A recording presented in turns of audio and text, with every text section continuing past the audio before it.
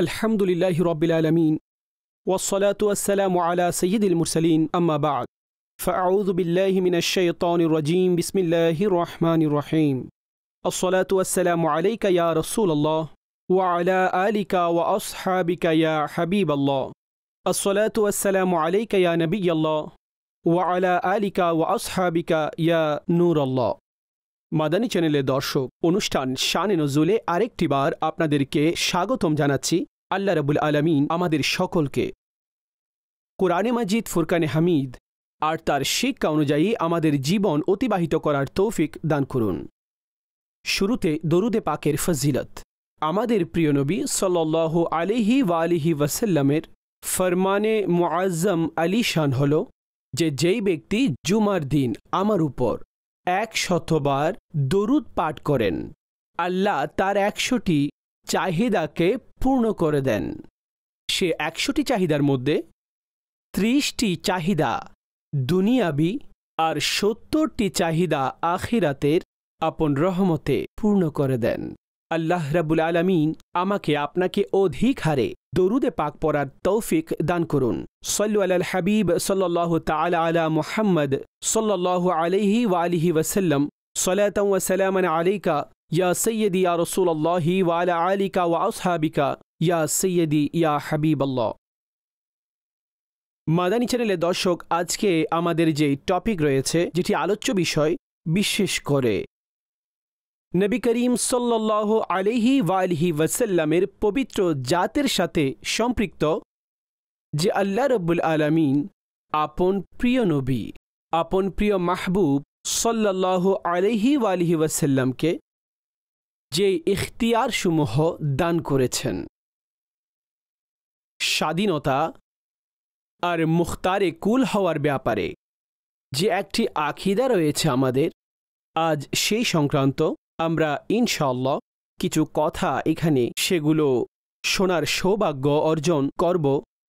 শুরুতে আমি সে আকিদাটাই স্পষ্ট করছি যে নবী করিম সাল্লাহ আলহি আলি ওয়াসাল্লামকে যখন এটা বলা হয় যে আপনি ইখতিয়ার রাখতেন, চাই কোনো তশরি হুকুম হলেও, অর্থাৎ সাধারণ শরীয়তের হুকুম কারও ব্যাপারে যেটা রয়েছে, কিন্তু হুজুর সাল্লাহ আলিহি আলিহি ওয়াসাল্লামের এটাও স্বাধীনতা ছিল যে তিনি যার জন্য যেটা হুকুম দিতেন তাই তার জন্য শরীয়তের হুকুম হয়ে যেত।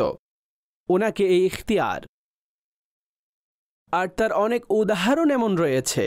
হজের সময় আসলে নবী করিম আলিহিসাল্লাম মানুষকে বললেন যে, তোমরা হজ করো। তো জিজ্ঞেস করা হলো, প্রতি বছর করতে হবে? তিনি চুপ ছিলেন, অতপর পুনরায় এটা বারেগাহির ইসালতে জিজ্ঞেস করা হলো, চুপ ছিলেন, পুনরায় আরজ করলেন। এমনকি হুজুর সাল্লাহ আলী ওসাল্লাম বলেছেন, যদি আমি হ্যাঁ বলে দিতাম লৌ কুলতু নাম লাওয়াজাবাত আমি হ্যাঁ বলে দিলে তোমাদের উপর আবশ্যিক হয়ে যেত। তোমাদের তার সামর্থ্য নেই। সামর্থ্য হতো না। তো এই হজ করা জীবনে একবার সম্পদশালী থেকে শুরু করে অন্যান্য যত শর্তাবলী পাওয়া গেলে তার উপর ফরজ। কিন্তু হুজুর আলহিসাল্লাম ইরশাদ করছেন, যদি আমি হ্যাঁ বলে দিতাম, তো এই হজের বিষয়টি ওয়াজিব হয়ে যেত। অর্থাৎ তোমাদের প্রতি বছর করতে হতো। কিন্তু হুজুর আলহিসাল্লাতাম উম্মতের উপরে নমনীয়তা, মহাব্বতের কারণে তিনি এমনটা করেননি। আর এমন অনেক মেসালও রয়েছে। তো শুরুতে আগে আমরা সে আয়াতে মুবারকা, যে নবী করিম সাল্লাহ আলিহি আলহি ওয়াসাল্লামকেও হাকিম বলা হয়েছে। আর সে আয়াতের শানে নজুল, আর তার থেকে কিছু ইনশাল্লাহ আরও কিছু বর্ণনা, প্রেক্ষাপট আর কিছু হাদিসে মুবারকা, সেগুলো আমরা আজকের এই প্রোগ্রামে সামিল করব। শুরুতে সে আয়াতে মুবারকা। পাঁচ নাম্বার পাড়ায়, সোরা নিসার মধ্যে আল্লাহ রব্বুল আলমিন ঈর্ষাদ করেন ঈর্ষাদ করলেন, হে হাবিব, আপনার রবের কসম, হে হাবিব, আপনার রবের কসম। এই লোকেরা মুসলমান হবে না। যতক্ষণ না তাদের পরস্পরের ঝগড়ার মধ্যে আপনাকে মীমাংসাকারী বানাবে না। আর অতপর যা কিছু আপনি তাদেরকে হুকুম দিবেন, তো তখন কি করবেন? আপন অন্তরে তাতে কোনো বাধা পাবেন না। আর উত্তম রূপে দিল থেকে মেনে নিবে। সেই হুকুমকে অন্তর থেকে মেনে নিবে যা আপনি হুকুমের ইরশাদ করবেন। একটু দেখুন কতটা উত্তম পদ্ধতি। মোহাব্বত, ভালোবাসা, এমন অনুমান রসুল আকরাম সাল্লাহ আলী ওয়াসাল্লামের সাথে আল্লাহ ইরশাদ করেন, আপনার রবের কসম, আপনার রবের কসম। আচ্ছা রব আল্লাহ আজ্জাওয়াজাল নিজে ইরশাদ করছেন আর নিজে এটা ইরশাদ করছেন আপনার রবের কসম। সেই রব তো রব্বুল আলামিন, সমস্ত জাহানের পালনকর্তা। সমস্ত আম্বিয়াদের রব, সৃষ্টির রব, সমস্ত বান্দার রব। কিন্তু ইরশাদ করেন, হে মাহবুব, আপনার রবের কসম। হে মাহবুব, আপনার রবের কসম। এরপর হুকুম ইরশাদ করলেন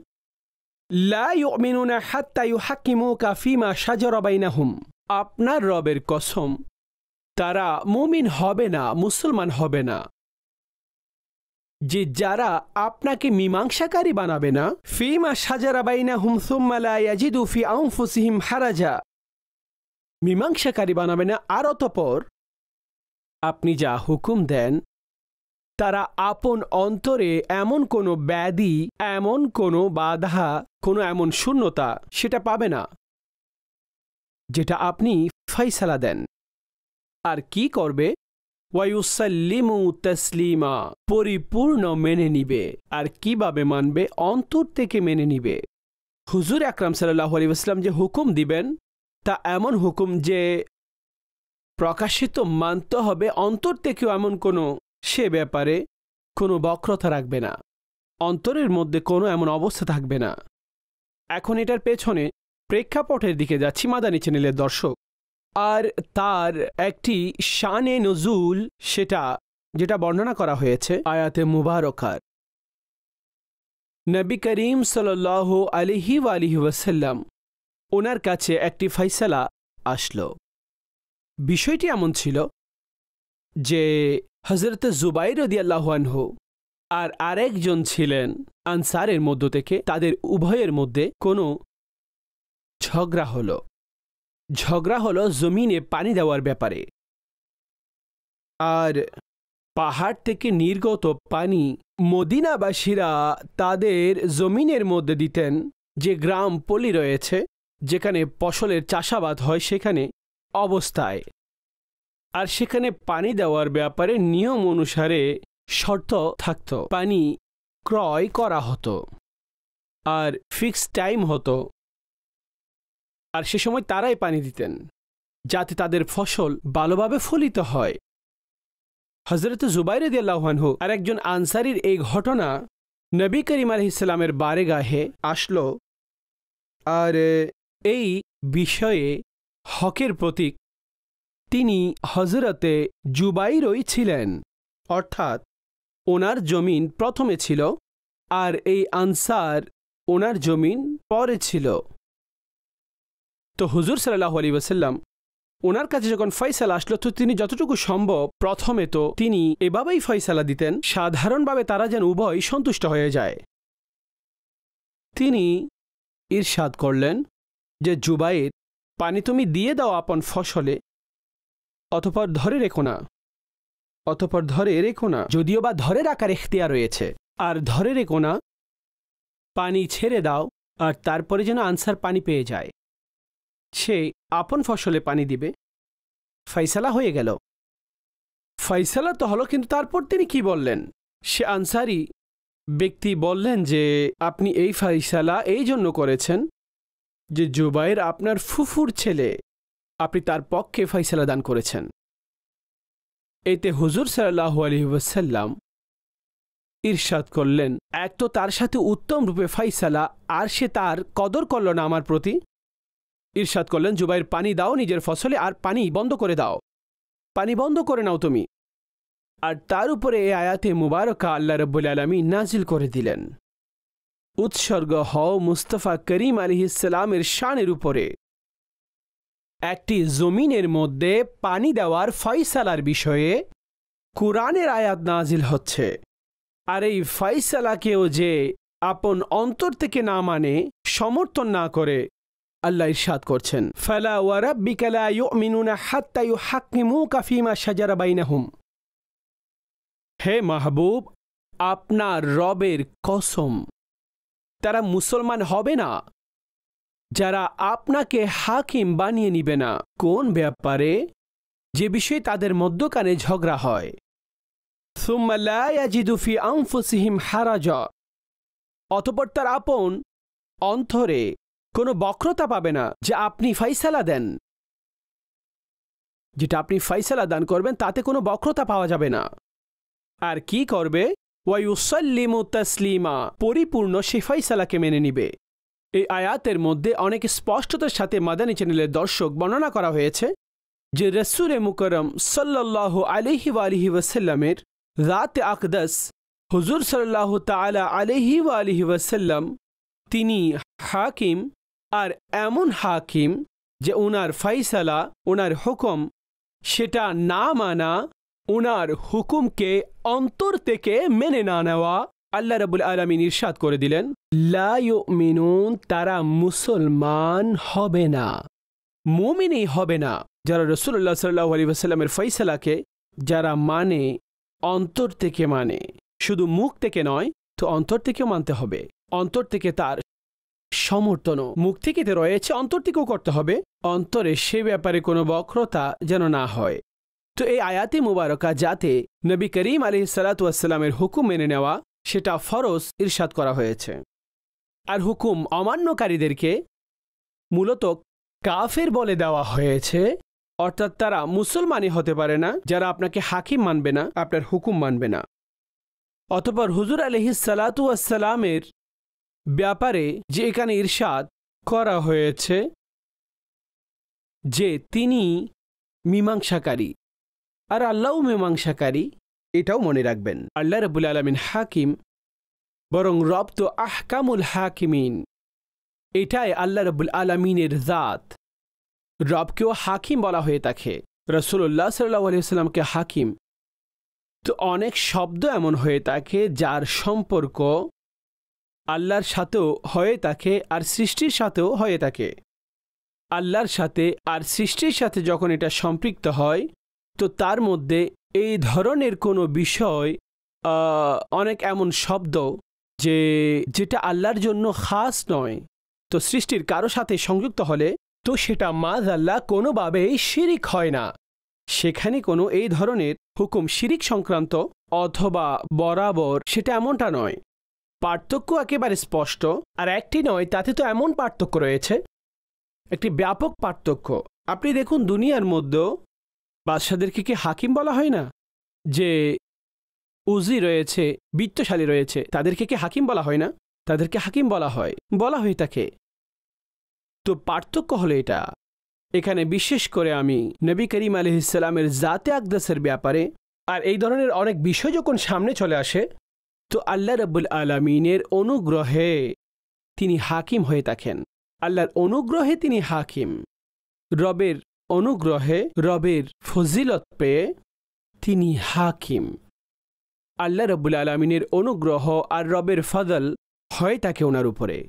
তো আল্লাহর অনুগ্রহের ভিত্তিতে যখন আমরা ওনাকে হাকিম মেনে নিই, তো এখানে কোনো ধরনের বরাবর করার কোনো বিষয় উঠে আসে না। আর এমনিতে আরস হল এটি যে রসুল্লাহ সাল্লাহ আলী ওয়াসাল্লামের অনেক এমন সিফাতি নাম রয়েছে, যেটা আল্লাহরও নাম আর রসুল্লাহ সাল্লাহ আলী ওয়াসাল্লামের নাম রৌফ রয়েছে, রহিম রয়েছে, করিম রয়েছে, এভাবে আজিজ রয়েছে, এগুলো আমরা বলে থাকি। এগুলো কেন? এটা এই কারণে যে আমার সম্মানিত মাদানী চ্যানেলের দর্শক, যে কিছু এমন শব্দ রয়েছে যেটার সম্পর্ক আল্লাহ ব্যতীত কারও সাথে হতে পারে। হ্যাঁ কিছু রয়েছে যেগুলো জায়েজ নেই। আর রহমান তো আর রহমান এভাবে দুনিয়ার মধ্যে অনেকের নাম আব্দুর রহমান রেখে রহমান বলে ডাকা হয় তাকে। শরীয়ত এটা অনুমতি দেন না। সেটা না জায়েজ, আর সে গুনাহগার হবে। আব্দুর রহমান হলে তো আব্দুর রহমানই তাকে ডাকা হবে। কেননা রহমান এটা আল্লাহর এমন সিফাতি নাম। সেটা এমন একটি নাম যে যেটার সম্পর্ক শুধুমাত্র আল্লাহর সাথে হতে পারে তো এটা বৈপরীত্যের দিক থেকে এটা একটি হুকুম সুরায়ে আহজাবের আয়াত আয়াতে মোবারকা আল্লাহ ইরশাদ করেন وما كان لمؤمن ولا مؤمنة إذا قضى الله ورسوله أمرا أن يكون لهم خيارة من أمرهم ومن يعص الله ورسوله فقد ضل ضلالا مبينا ইরশাদ করলেন, আর কোনো মুসলমান পুরুষ না মহিলারই হক রয়েছে, যে যখন আল্লাহ আর ওনার রসুল কোনো হুকুম দান করেন, তো তাদের আপন বিষয়ে সেখানে কোনো ইখতিয়ার বাকি থাকে না।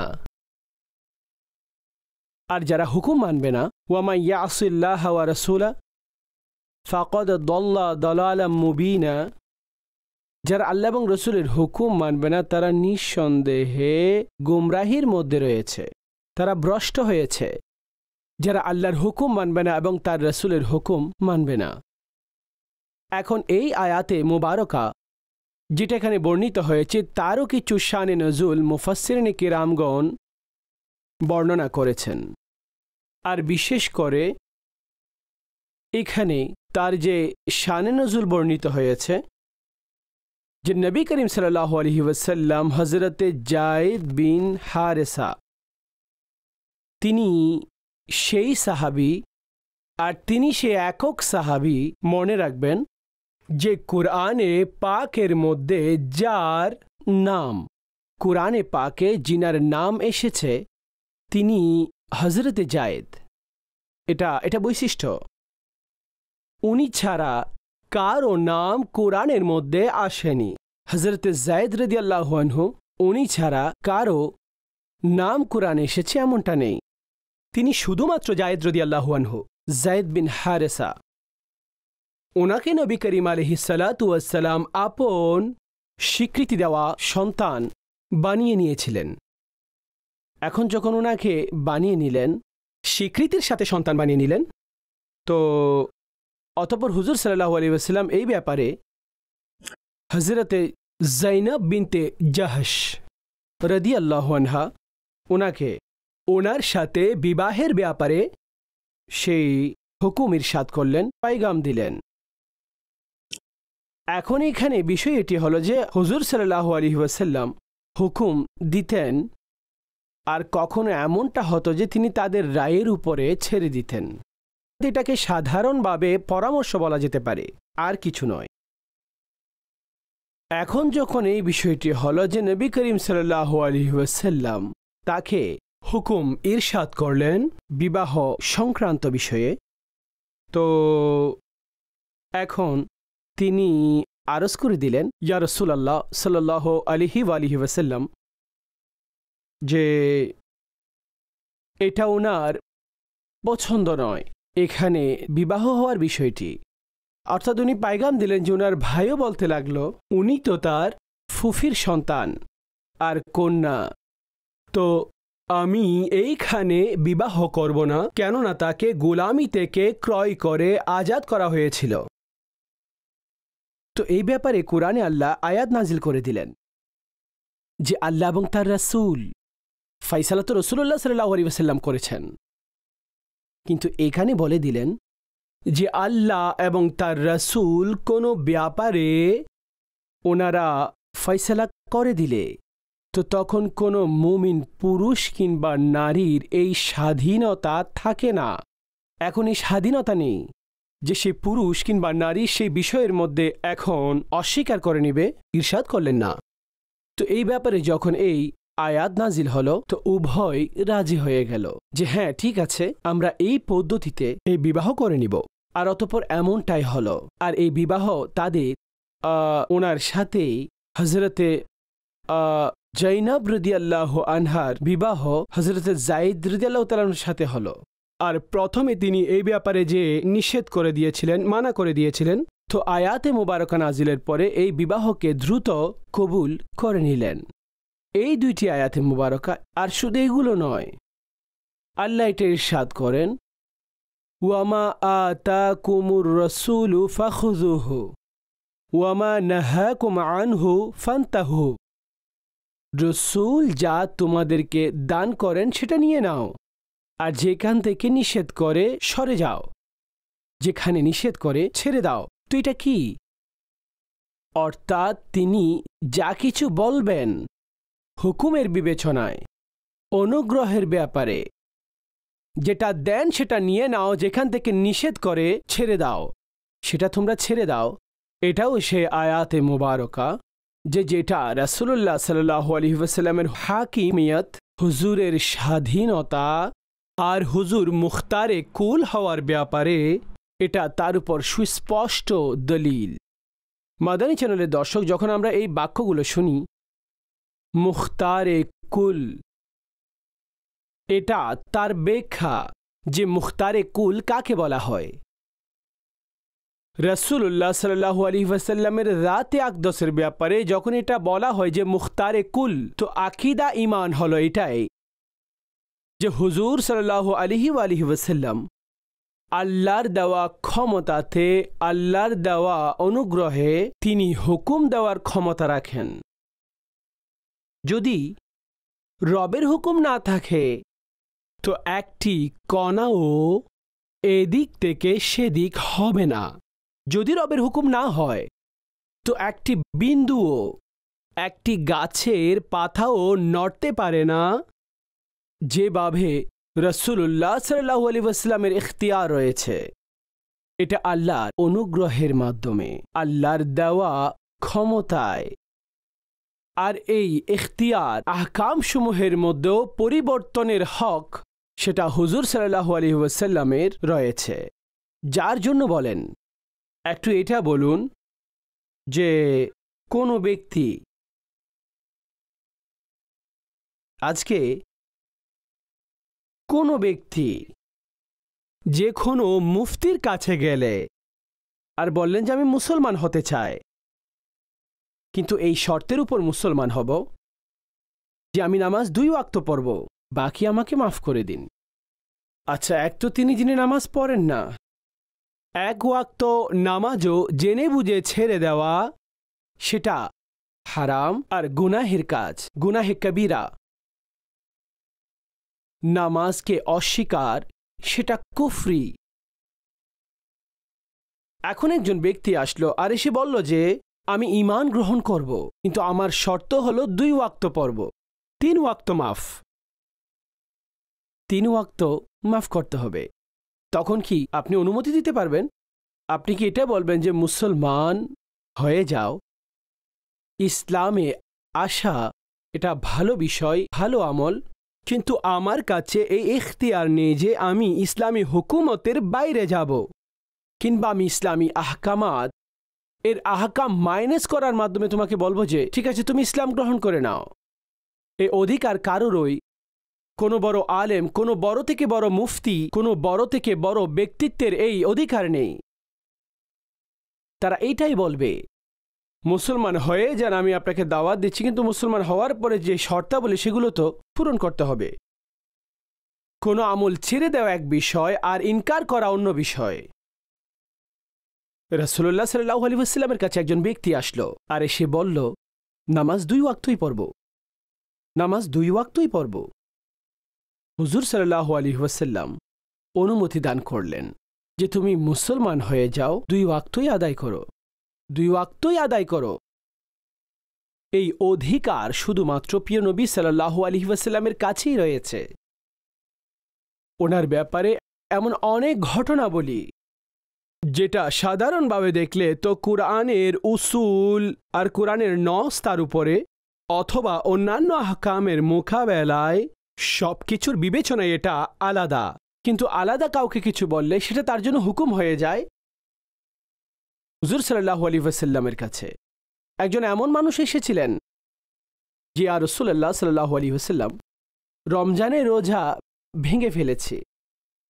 এখন রমজানের রোজা ভেঙে ফেলা আর তার কাফারা তো তিনি তার যে কাফারা রয়েছেন সেটা বর্ণনা করলেন। আর তার বেসিক সর্বপ্রথম যে তাকে যে ষাটটি রোজা রাখতে হবে, একটি রমজানের রোজা ইচ্ছেকৃত ভেঙে ফেলা। আর তার উপর অন্যান্য শর্তসমূহ পাওয়া গেলে তো কাফারা হলো এটা যে ষাটটি রোজা রাখতে হবে। এই ষাটটির ধারাবাহিকতা যেন কোনোভাবেই না ভাঙে। যদি ভেঙে ফেলে, তো সে কাফারা সেখানেই শেষ, আবার নতুন করে শুরু করতে হবে। ষাটটি আবার রাখুন। এখানে এই ওজোরও চলবে না যে রোগের কারণে ছুটে গেছে। এতে এই ওজোরও চলবে না যে মধ্যকানে কোনো সফরের কারণে থেকে গেল, অন্য কোনো কারণে থেকে গেল। ষাটটি রোজা একসাথে। মাদানী চ্যানেলের দর্শক, একটি রমজানের রোজা যদি ইচ্ছেকৃত, শরীয়তের অনুমতি ব্যতীত, শরীয়তের অনুমতি ব্যতীত ভেঙে ফেলল, তার কাফারা হলো তাকে ষাটটি রোজা আবার রাখতে হবে। তো উনি তার অবস্থা বর্ণনা করলেন যে অবস্থার মধ্যে তিনি নেই। এই অবস্থায় ছিল যে তিনি ষাট রোজা রাখতে পারবেন না। আচ্ছা। আরও তার যে হাকাম রয়েছে সেগুলো বর্ণনা করলেন। পরিশেষে এটাই হয় যে ষাটজন মিসকিনকে খাবার খাওয়ানো ষাটজন ফকিরকে খাবার খাওয়াবে। তো বলতে লাগলেন যে, আমার কাছে তো, আমার তো তারও সামর্থ্য নেই। বললেন, বসে যাও। বসে গেলেন। হুজুর সাল্লাহ আলী ওসাল্লাম বললেন যে, বসে যাও। তিনি বসে গেলেন। কিছুক্ষণ পর হুজুর আলি ইসলামের বাইরে গায়ে খেজুরের একটি টোকরা পেশ করা হলো। তোফা হিসেবে দিল। তো হুজুর আকরাম সাল্লাহ আলী ওসাল্লাম ইরশাদ করতে লাগলেন যে, তিনি কোথায় রয়েছেন যিনি কাফারার জন্য এসেছেন? কোথায় সে কাফারাওয়ালা তো হাজির হলেন, জি আর রসল্লাহ সাল্লাহ আলী ওসাল্লাম ইরশাদ করলেন, এটা নিয়ে নাও। আর এটা মদিনার গরিবদের মাঝে বন্টন করে দাও। কাফারার বিষয়ে এসেছিলেন, আপন হাতেই কাফারার মূল্য অর্থাৎ খেজুর সেটা দান করছেন, নিয়ে যাও এটা মদিনার গরিবদের মাঝে বন্টন করো। ইয়া রসুল্লাহ সাল্লাহ আলী ওয়াসাল্লাম, আমার চেয়ে বড় গরিব কে রয়েছে মদিনার মধ্যে? এই মদিনার গলির মধ্যে আমার ঘরের চাইতে বেশি কোন ঘর এমন গরিব রয়েছে? অর্থাৎ মোট কথা হলো আমি গরিব। আমার অবস্থাই এটা। হুজুর সাল্লাহ আলী ওয়াসাল্লাম হাসলেন। হাসলেন। সাহাবাই কেরাম বললেন যে, এতটাই হাসলেন যে হুজুর আলহিসাল্লামের মুখ থেকে সেই দাঁত মুবারক, সেটা প্রকাশ হলো। হুজুরের দাঁত মুবারক এইভাবে চমকপ্রদ হলো। আমরা দেখলাম হুজুর এইভাবে, অর্থাৎ মুচকি হাসলেন হাসলেন এইভাবে। অতপর তিনি কি বললেন? নিয়ে যাও এগুলো। এই খেজুর নিয়ে যাও, নিজে খাও, পরিবারকে খাওয়াও। এটাই তোমার জন্য অর্থাৎ কাফারা হয়ে যাবে। আল্লাহ আকবর। জিজ্ঞেস করতে এসেছিলেন যে কাফারা কি হবে? তো হুজুর সাল্লাহ আলহি ওয়াসাল্লাম সে সমস্ত বিষয়াদি সব কিছু বর্ণনার পরে অতপর তাকে খেজুর দানের মাধ্যমে সেখান থেকে বিদায় দিলেন। বলে, নিজেও খাও, পরিবারকেও খাওয়াও, এটাই কাফারা হয়ে যাবে। আল হজরত ইমাম আহলে সুন্নত একটি পরিপূর্ণ এর উপর রিসালা তিনি প্রকাশ করেছেন। মুনিয়াতুল্লবিব আন্না তশরিয়া বিয়াদিল হাবিব। এই রিসালার মধ্যে শরিয়া হকাম প্রিয়নবী আলহিসাল্লামের হাতে হাত মুবারকের মধ্যে রয়েছে। অর্থাৎ আল্লাহ উনাকে এখতিয়ার দিলেন। যার জন্য যেটা ইচ্ছা সেটাই তার জন্য হুকমে শরীয়ত হয়ে যায়। এটা হুজুরে আকরাম সল্লাহ আলাইহি ওয়া আলিহি ওয়াসাল্লামের ইখতিয়ার রয়েছে। তো আখিদা আমাদের এই ব্যাপারে, মাদানী চ্যানেলের দর্শক এটাই, আর এই আখিদা আমাদের পক্ষ থেকে নয়, বরং কোরআনের শুরুতে আয়াতে মুবারকা এটাও বর্ণিত হয়েছে, যে রব আজ্জাওয়াজাল কোরআনের মধ্যেও হুজুর আলহিসাল্লামকে এই এখতিয়ার দান করেছেন, আর হাদিস এই ব্যাপারে স্পষ্ট যে নবী করিম সাল্লাহ আলী ওয়াসাল্লামকে আল্লাহ এই ইখতিয়ারসমূহ দান করেছেন, আর অতপর আহকামের ভিত্তিতেও আচ্ছা আরেকটি ইখতিয়ার ওনার। সূর্য রয়েছে, চাঁদ রয়েছে, তারকা রয়েছে, গাছ রয়েছে, বৃষ্টি রয়েছে, পাথর রয়েছে, পাহাড় রয়েছে। এগুলো তো হুজুর আলহিসামের এমন অধিকার রয়েছে, আঙ্গুল দ্বারা ইশারা করলে চাঁদকে টুকরো করে দেন। ইশারা বৃষ্টিকে করলে। তো যেখানে বর্ষিত হচ্ছে, সেখানে বৃষ্টি একেবারে চলে যায়। আচ্ছা হুজুর, ইশারা করলে। কাউকে বললেন, ভাই, তুমি বলছো, গাছ আমার কাছে আসলে তখনই মানানবে, বরং তুমি গিয়ে গাছকে বলে দাও যে মুস্তফা তোমাকে ডাকছে। আপনাকে হুজুর ডাকছেন। তো সেই গাছও হুজুরের বারে গাহে হাজির হয়ে যায়, বরং হুজুর আলহিসাল্লাম একটি জায়গায়। বাইরে বের হলেন আর প্রাকৃতিক হাজত পূরণ করার জন্য। ময়দান অনেক উন্মুক্ত ছিল। দূর দূর পর্যন্ত কোনো কিছু দৃষ্টিগোচর হচ্ছিল না। সাহাবিরা বলেন আমরা হয়রান হয়ে যাচ্ছি। কিন্তু হুজুর আলি ইসলাম সামনের দিকে গেলেন, একটি গাছকে এইভাবে ধরে টেনে সামনের দিকে নিয়ে আসলেন। যেইভাবে আমরা একটি পশুর কান দরে টানতে টাকি আর সেই পশুটিও আসতে তাকে গাছের ঢাল ধরে টান দিলেন আর গাছটিও আরামের সাথে চলতে শুরু করল। আচ্ছা তিনি তাকে এক জায়গায় দাঁড় করিয়ে দিলেন। আরেকটি গাছকে ধরলেন হুজুর আলহিসাল্লাম তার শাখায় আর টান দিয়ে নিয়ে আসলেন। এই উভয়টি নিয়ে আসলেন আর এইভাবে এগুলোকে দাঁড় করিয়ে দিলেন। অর্থাৎ এইভাবে গাছগুলোকে মিলিয়ে দিলেন, যেভাবে একটি দেওয়াল হয়ে যায়। আচ্ছা অতপর হুজুর আলহিসাল্লাতুয়াসাল্লাম অতপর তারপরে যখন সমাপ্তি লগ্নে যখন আপনি এ বিষয়ে হুকুম দিলেন, তো আপন আপন জায়গায় এগুলোকে পাঠিয়ে দিলেন।